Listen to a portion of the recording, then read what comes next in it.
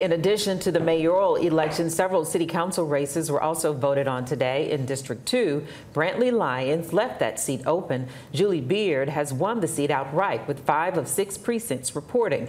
Beard has 58% of the vote over Marquetta Johnson, Richard Williams, and Eric Satcher. We spoke to Beard after the win looking forward to the most make sure that there's a difference in every single neighborhood, whether you're in North Pass all the way to Dalraida, Morning View, all the way out Wares Ferry Road. I want to make sure every neighborhood knows that I care about them and I'm going to represent them, and it's an honor to have this position.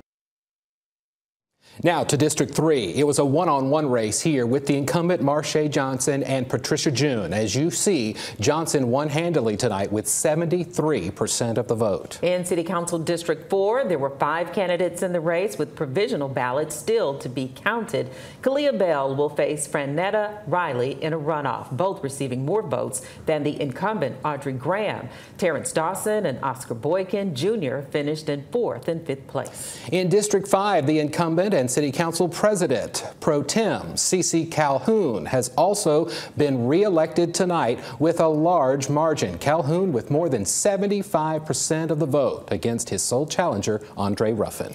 Despite a crowded five candidate race, we can announce Andrew Zamansky will be the next council member representing District 7. He won just over 55% of all ballots cast, beating out Christopher Christopher Turner, Jamel Brown, George Childress, Charles Dillahay, and Christopher Turner. Zamansky already knows his next step.